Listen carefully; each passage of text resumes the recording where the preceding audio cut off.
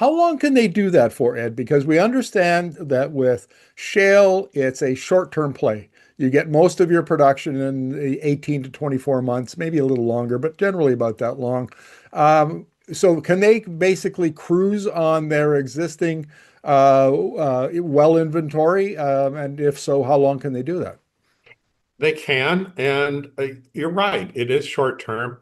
But keep in mind that as the shale plays contract, and it's not unlikely that the U.S. could lose 500,000 barrels a day of production by the end of the year, you know, that's going to have pressure to drive the prices up. The old saying is, the cure for low prices is low prices.